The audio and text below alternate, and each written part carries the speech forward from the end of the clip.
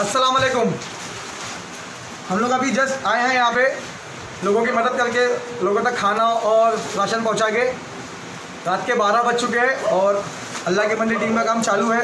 जैसा कि एजाज भाई ने बोला था कि काम नहीं रुकेगा तो अल्हम्दुलिल्लाह काम नहीं रुका है। ये देखिए, अभी नया स्टॉक आया है। बस वही हम लोग सब पैक करवा रहे हैं।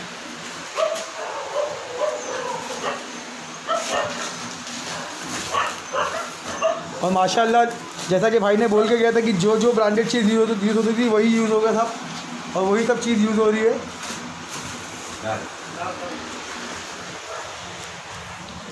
तो आप लोगों से रिक्वेस्ट है प्लीज़ अल्लाह के बंदे फाउंडेशन को सपोर्ट करते रहिए, क्योंकि भाई के जाने से बहुत ही तक, बहुत ज़्यादा तकलीफ़ बढ़ गई है। लेकिन अल्हम्दुलिल्लाह, भाई की फैमिली और अल्लाह के बंदे की टीम ये पूरा काम सही से कर रही है। तो आप लोग से रिक्वेस्ट है प्लीज़ सपोर्ट करते रहिए हमें। और एजाज भाई के लिए दुआ करिए कि जल्द से जल्द वो जेल से रिलीज़ हो जाए।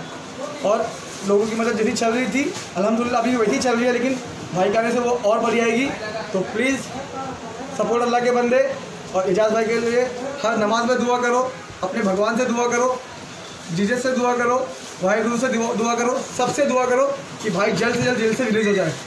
अल्लाह हाफिज़, दुआ में याद रखना, टीम अल्लाह के बंदे।